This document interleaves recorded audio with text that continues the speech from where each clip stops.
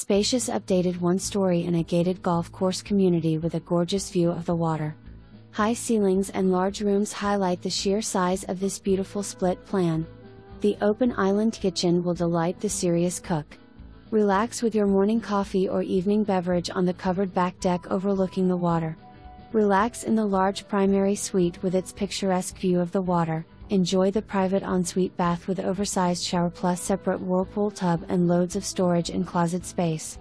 Each of the three secondary bedrooms have plenty of room for your guests.